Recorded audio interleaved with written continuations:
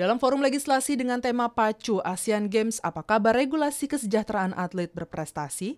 Di Gedung Nusantara 3 DPR RI baru-baru ini, Wakil Ketua Komisi 10 Hetiva Syaifudian mengatakan, untuk menghasilkan bibit-bibit unggul yang akan menjadi atlet berprestasi, bentuk penghargaan kepada para atlet perlu ditingkatkan.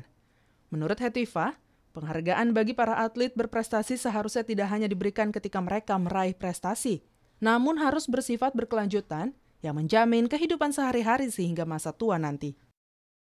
Uh, nanti untuk ke depannya barangkali kita di DPR ini perlu ciptakan semacam dana abadi atau endowment fund sehingga uh, dengan dana itu kita bisa uh, menciptakan satu sistem yang lebih berkelanjutan bagi atlet-atlet uh, sehingga mereka menjadi termotivasi dan juga uh, ada ke ada semacam keamanan uh, dan kepastian dalam kehidupan dan kesejahteraan mereka.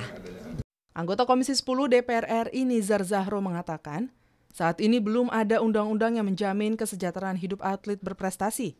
Menurut Nizar, perlu ada undang-undang baru yang mengakomodir kesejahteraan mereka, sehingga mereka tidak perlu khawatir memikirkan kehidupan mereka setelah pensiun menjadi atlet dari undang-undang itu harus kita rubah ya atau kita revisi undang-undang nomor 3 tahun 2005 sistem keluarga nasional sehingga atlet-atlet kita dari 34 provinsi dijamin oleh negara tunjangan keluarganya, tunjangan hidupnya dan mereka akan berpikir untuk regenerasi terhadap atlet-atlet yang lain.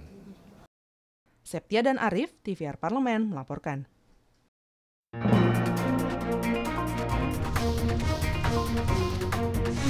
you.